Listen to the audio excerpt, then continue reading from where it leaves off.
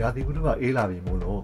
ပူပူဆက်ဆက်လေးစားကြတာနဲ့ကျွန်တော်အတင်စားဟော့ပေါ့တပူကိုဝယ်ပြီးတော့စမ်းစားကြည့်မလို့ပါ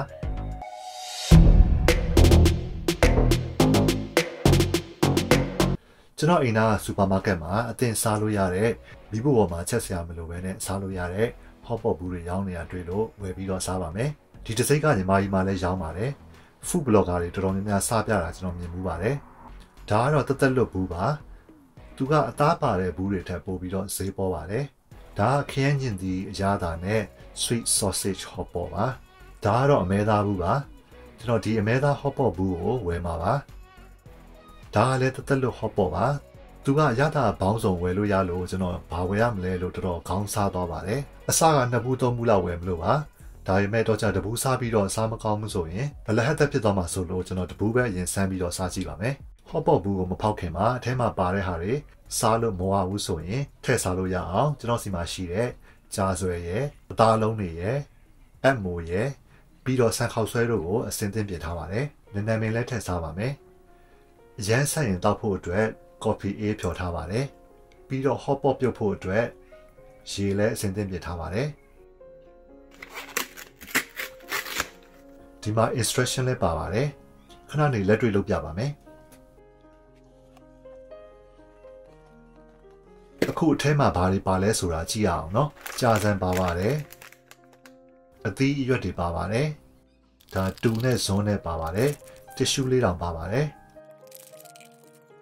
တူကအခုလိုနှစ်ခုဆက်ပြီးတော့လုပ်ရပါတယ်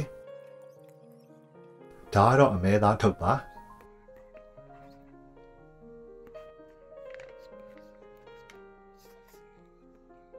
ဒါကတော့ heat pad ပါအပူပြားလို့ခေါ်မှာပေါ့နော် အားလုံးကိုခွက်ထဲမှာဖောက်ထည့်ပါမယ်အသီးရွက်ကရေညှိပါတယ်အာလူးပါတယ်ညစ်ပါတယ်ပြီးတော့ကြာဆွဲပါပါတယ်ဒါကတော့အမဲသားတွေပါ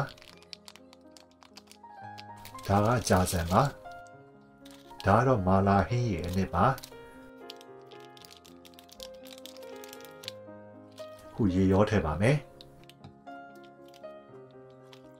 ခွက်ပြည့်သွားအောင်ကျွန်တော်ပြင်ဆင်ထားတဲ့ အက်မိုအသားလုံးနဲ့ကြာဆွဲတွေပါထည့်ပါမယ်ကြာစံပါနေပြီဆိုတော့ကျွန်တော်ခောက်ဆွဲထပ်မထည့်တော့ပါဘူး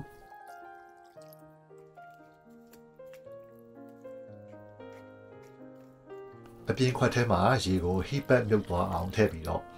အဖုံးအုပ်ပြီး15မိနစ်ပြုတ်ထားပါမယ်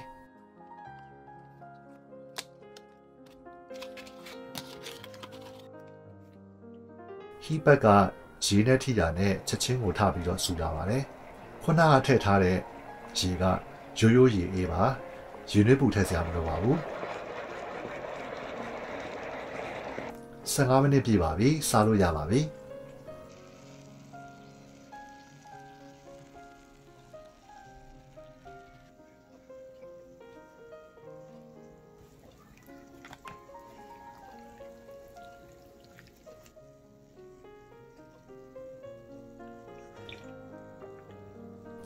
ဟင်းရည်ရတာကတော်တော်လေးကောင်းပါတယ်ဒါပေမဲ့ရတာကတော်တော်ကြီးကိုပြင်းပါတယ်ကျွန်တော်လိုအဆက်စားတဲ့သူတော်မှတော်တော်ဆက်တယ်လို့ခံစားရပါတယ်နောက်ထပ်ရေတစားလောက်ထပ်ရောမှဟင်းရည်ရတာကကွက်တီလောက်ဖြစ်ပါလိမ့်မယ်ဒါကအမဲသားဆိုတော့တကူကိုညီမဝင်နဲ့ဆိုရင်12000လောက်ကျတာပေါ့နော်အမှန်သူပါတဲ့အမဲသားကလည်းနည်းနည်းလေးဆိုတော့တိတ်ပြီးတော့မတန်ပါဘူး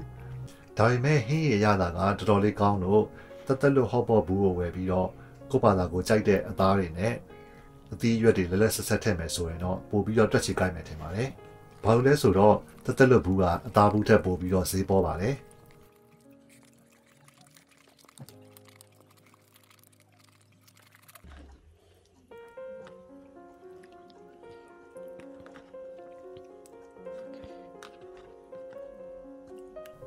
အသားနဲ့အသီးရွက်တွေအကုန်စားပြီးပါပြီ။ဟင်းရည်ကတော်တော်လေးဆက်လို့ သိပ်ပြီးတော့မတောက်နိုင်ပါဘူး။သွန်ပြရမှာလည်းနှမျောလို့နောက်နေ့ထပ်ပြီးတော့စားဖို့အတွက်သိမ်းထားပါမယ်။